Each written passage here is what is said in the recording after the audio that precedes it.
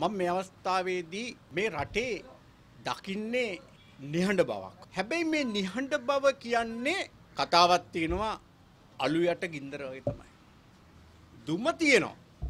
හැබැයි ගින්දර පේන්නේ නැහැ. අපි දන්නවා 1705 ඉඳලා 1800 පහළව එදදාස් හස්සිය ගණන්. ඒවගේ මෙදදාස් නමසය හතලිස් අට දක්වාම අවුරුදු හාර්සි ගානක් අපි යටත් වෙලා හිටිය. අපි තොර යටත් විජිතයක් විදිර තමයි තිබුණේ. අපේ රට භාවිතා කරේ පෘතුගීසිකාරය හෝලන්කාරය බ්‍රිතාන්‍ය ජාතිකයා. සුද්දා අපි පාලනය කරේ ඔවුන්ගේ ව්‍යාපෘති සඳහා ඒ ව්‍යාපෘති විදිහට එදා ඒ අය කළේ වෙළඳාම. අපේ රටේ වටිනාකම ඒ විදේශිකයා දැක්කා. අපේ රටේ හිටපු සමහර රජවරුන්ගේ ඒ රාජ්‍ය තත්ත්වයන් තුළ ඔවුන් අපේ රජවරුන්ගේ මොලය පරීක්ෂා කල්ලා අපේ රට ඩැහැගත්තා. තොර අපිට මොකද වුණේ. අපේ රටේ සම්පත් අපේ රටේ භෞතිකත්වය අපේ රටේ මිනිසුන් භාවිතා කරන්න රාජ්‍යපාලනයම තමයි අනියමින් හෝ ඔවුන්ට අත්තුදව් දුන්නේ. මම මේ කියන්න හදන්නේ එදා ඒ ස්වභාවයම තමයි අදත් මේ රාජ්‍යපාලකීන් කරන්නේ. අදත් එදා එක රටකට අධිරාජ්‍යවාදයට යටත් වෙච්ච රට අද රටවල් කීපයකට ඔවුන්ගේ තෝතැන්නක් බවට පත් කරන්න මේ පාලකින් කටයුතු කරනවා. අපි එදා ඔවුන්ගේ අවිබලයට යටත් කරගත්තු අපේ රට අද ඒ ජාතිකයින්ගේ මුල්්‍ය බලයට අපි යටත් කරගන්න දීල තියෙනවා. හැබැයි එහෙම දීල අපේ පාලකයා වටඉන්න හෙංචයියෝ වටඉන්න උන් පාලකයා කියනවා රට දෙදස් හතලිස් අට එකන් විසිතුන නෙවේ හතලි සටේ තමයි මේ රටේ සංවර්ධනය දකින්න පුළුවන් කියල කියන්නේ. අපිට මවනෝ චිත්‍ර හැබැයි මේ චිත්‍රමවන මේ පාලකයා දන්නවා මේ රටේ මිනිස්සුන් අන්දන්න පුළුවන් මේ රටේ මිනිසුන් රවට්ටන්න පුළුවන් මේ රටේ මිනිසුන්ව බය කරන්න පුළුවන් මේ රටේ මිනිස්සුන්ට මැජික් පෙන්න්න පුළුවන් කියලා. ඒ අපි පාලකයට කියනවා ඔයාලා එදා ඒ රජවරු කරපු ආකාරයට අද පාන තන්ත්‍රය අපිය මුලා කරල කරන්න හම්බේනෙ නෑ.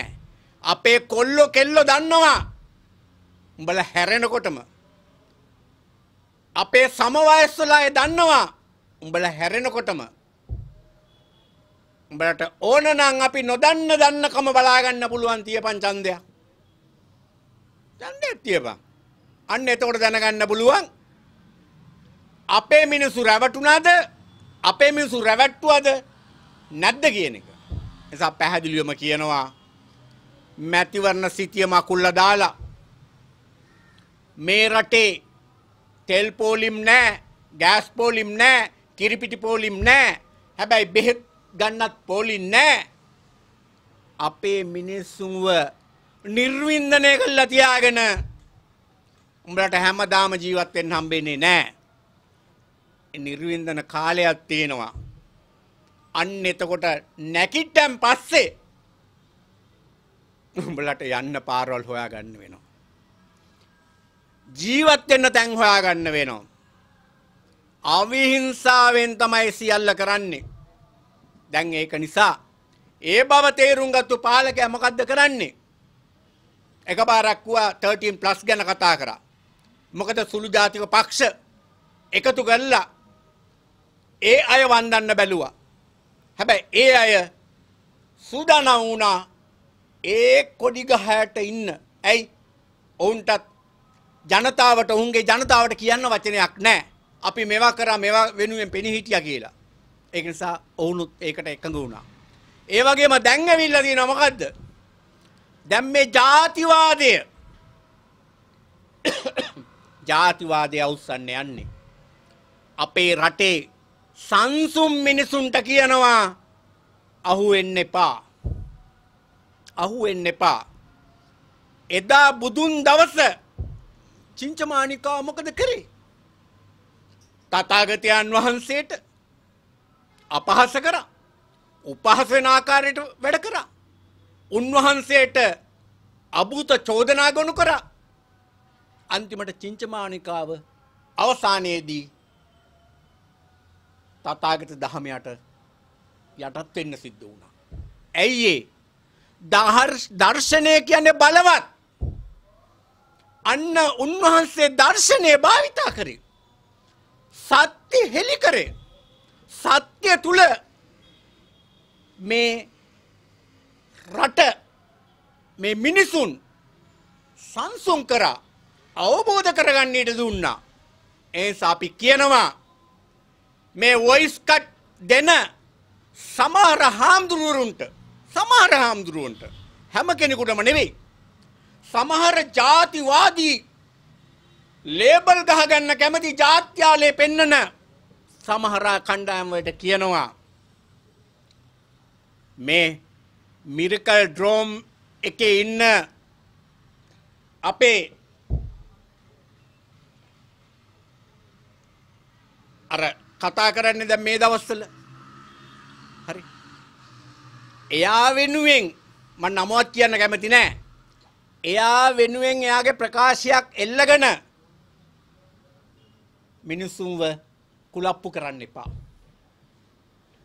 මිනිස්සුව කුලප්පු කරන්න එපා. මිනිස්සුන්ට මේ ආර්ථික ප්‍රශ්න තියෙනවා සමාජීය ප්‍රශ්න තියෙනවා. ඒ ප්‍රශ්න යටගහන්න රජයටත් අවශ්‍ය වෙලා තියෙනවා. මාතෘකාවල් අලුත් කරමින් එක එක ජවනිකාවල් පෙන්වන්න ඒ ජවනිකාවල් පෙන්නලා රජයට මුක්කු ගහන්න කටයුතු කරන්න එපා ජනතා ප්‍රශ්න විසඳන්න. කටයුතු කරන්න. ඒ සමන් අවසාන වශයෙන් ඒ ගැන කතා කරන කිරීමේදී මම කියන්නේ ජෙරම්ව භාවිතා කළා. ජෙරම්ට ගහන එක කළ යුතුයි. කෙරුවට කමක් නෑ ඔහුව විවේචනය කිරීම කළාට කමක් නෑ ඔහුව අවිහිංසාවාදීව ඔහු වරදක් කරා කියන එක පෙන්වා දුන්නට කමක් නෑ. හැබැයි අපි කියනවා අපේ මල්වතු හාමුදුරන්ට අපේ ඒ වගේම රාමං්ඥනිකායේ ආස්ගිරි පාර්ශවේ අමරපුර පාර්ශවේ ස්වාමින් වහන්සේලා නායක හාමුදුරුවන්ට කියනවා තථාගත දර්ශනය තුල පුද්ගලයේ පසුපස යෑම යම් අයෙක්ගේ අදහස පසුපස ගිහිල්ලා ලුහු බැඳලා කටයුතු කිරීම නෙවෙයි කරන්න ඕන. අපේ තථාගත දර්ශනය ඔය වචන වලින් බිඳින්න බෑ. ඔය වචන වලින් අවමන් කරන්න බෑ. ඔය වචන වලට අපේ දහම යටපත් කරන්න බැහැයි කියන එක තමයි පෙන්වන්න ඕන. හැබැයි ඒ අනුව මේ වෙනකොටත් මල්වතු පාර්ශවයේ අස්ගිරි පාර්ශවයේ ඒ ඒ නායක කාරකාදීන් බොහෝම යහපත් මැද මාවතක ඉන්නවා. අවුස්සන්න ගියේ නෑ. දැන් මේ රටටත් අවශ්‍ය වෙලා තියන්නේ රටේ තියෙන දැවෙන ප්‍රශ්න වෙනතකට යොමු කරන්න රටේ රටේ අර අලු යට තියෙන ගින්දර ඒ ආකාරයටම නිවල තියාගන්න අවශ්‍ය වෙලා තින්නේ මේ ප්‍රශ්න මතු කරගන්න. එසා පාලකයට ඕන දේ කරන්න අපේ ජනතාව සූදානම් වෙන්න එපා. ජෙරම් වැරදි.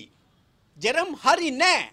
ජෙරම් කියන්නේ ක්‍රිස්තියානි ආගමත් කිතු දහමත් ස්ලාම් දහමත් බුද්ධ දර්ශනයත් හින්දු දර්ශනයත් විවේචනය කරන්න ඇති අපි කනගාටුවෙන්න ඕන.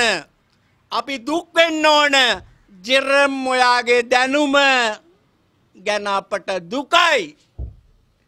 ඔයාව අනුගමනය කරන අනුගාමිකයින් පිරිසක්කින්න විවිධ තරාතිරම්වල අපි ඒ අයටත් කියනවා ඔයාලගේ නායකත්තේ ඔයාලගේ බලවතා ඔයාලගේ දේශකයා ඔයාලගේ නියමුවා. ගේ දැනුමේ පරාසය ගැන දෙවරක් හිතන්න. දෙවරක් හිතන්න. ඔව් ඇවිල්ලා වානිජ ආගම්කාරයෙක් වානිජ ආගම් කරණය වානිජ කරන කෙනෙක්.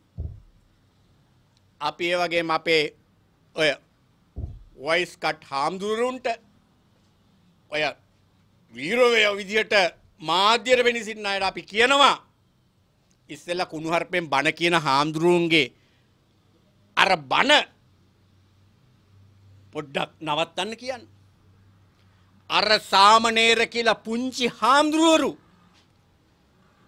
පැවිදියට පැවිදි තත්ත්වයට ආව විතරයි අන්නේ අහිංසක ඒ දරුවන්ව අඩම් තෙට්ටන් කිරීමෙන් වලක්වාලන්න පුළුවන් තරම් තතාගත දහම සත්‍යය එක ඒ සත්‍යය දේශනා කරන්න ඒ සත්‍ය තුළ පිහිටා ඉන්න ඒ සත්‍ය යටපත් කරන්න ජෙරම් නෙවේ ජෙරම්ගේ කිසියකුටත් බැයි කියන එක මම මේ අවස්ථාවේදී කියනවා.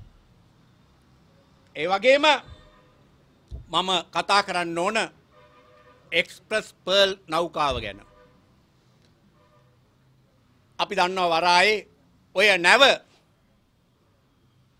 ඔය නැව ගිනිගන්නකොට ඔය නැව රසායනයන් තිවුණේ හැබැයි නිව්වේ වතුරින්. ඔය රසායනයන් පිළිබඳ පුංචි හෝ අල්ප මාත්‍රක හෝ අවබෝධයක් තියෙන කෙනෙක් වතුරෙන් නිවන්න යන්නේ නෑ. වතුරෙත් තියෙන රසායනයන් දෙකක එකතුවක්. ඒක නිසා එහෙම කරන්න යන්නේ නෑ. ඒ වගේම ඒ සමහර අය කිව්ව මාධ්‍යට ඇවිල්ලා මේක අපේ රටේ වාසනාවක් අපිට මිලියන බිලියන ගණන් අපට හම්බ කරගන්න පුළුවන් ලැබෙනවා කියලා. හැබැයි සුනාමියෙන් අත්තුණු ඉරණමට වඩා දරුණු ඉරණමකට පාත්‍ර වෙලා අපේ ලංකාවේ මුහුදු සීමාවත් මුහුදු සත්වයින් මුහුද ආශ්‍රිතව රැකියාවේ යෙදුණු පිරිස් ඒ වගේම මුහුදේ ජෛව සම්පතම විනාශ වෙලත් අපේ රටේ දේශපාලකයා මොකක්ද කිව්වේ මේක සමහල්ලාට වාසනාවක් වෙන්න පුළුවන් කියලා. ඒක නිසා මම කියනවා මේ රටේ අඩුවක් තියෙන මොකද්ද? මේ රටේ ලයිසන් දේශපාලඥයෙක් නැහැ. වෘත්තීය දේශපාලඥයෙක් නැහැ. විෂයට තියෙන ආර්ථික විද්‍යාව වාණිජ්‍ය කළමනාකරණය තියෙනවා.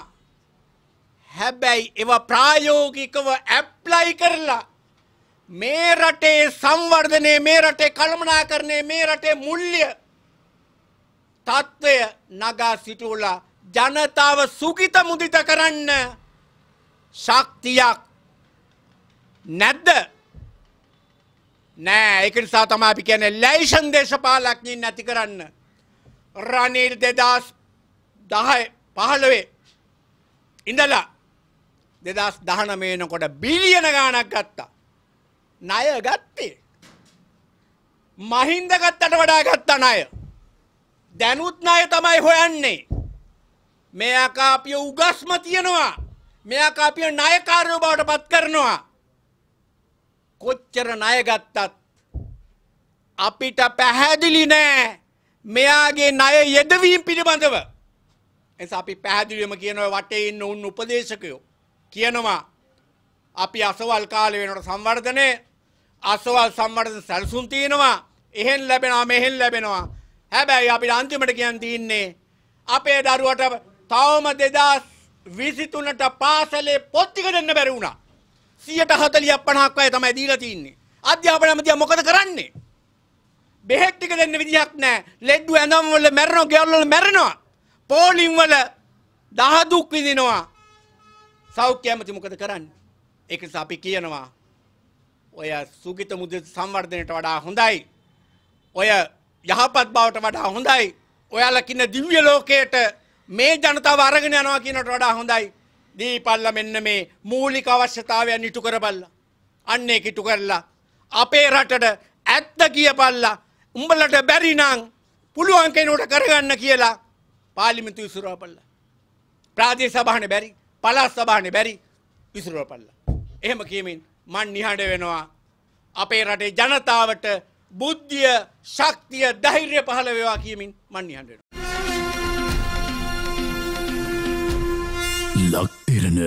පුවතකට එහාගේ රට ගැන කැක්කුමක්.